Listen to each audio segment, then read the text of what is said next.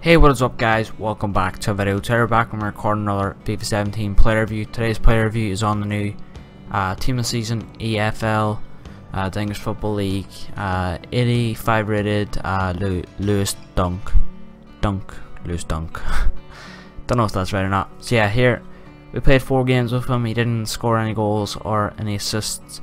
The only way I could really see him scoring goals probably from a corner.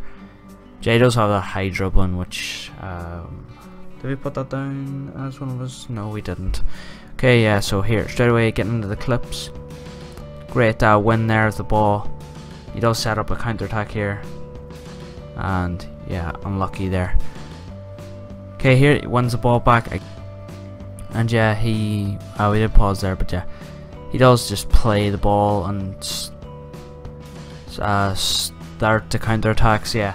His pros are his uh, passing and his defending. They work together um, really, really well, and they do let him set up the counter attacks for us, which is uh, what what you want really. Um, for some reason, I did put. Uh, oh no, wait, never mind.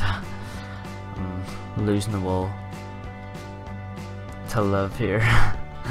uh, thought I put down stamina there, but it is strength yeah, I'm just bluffing on here at the minute. So yeah, uh, going over his pros and cons again.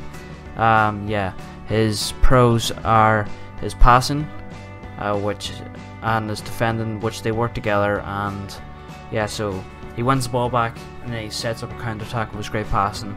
Also, he's dribbling too. Um, didn't really. I think his passing should have been 70, maybe he's dribbling 60, but it's up to EA to make up that. And yeah I put down 2-2 there. Uh, yeah also his strength is amazing and that is what you want to to strengthen the guy off the ball.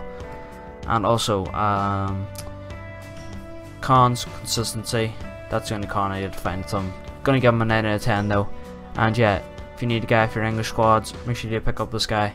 And yeah make sure you do. Also subscribe. Check out the other player reviews being released today. And yeah I'll see you in the next one. Bye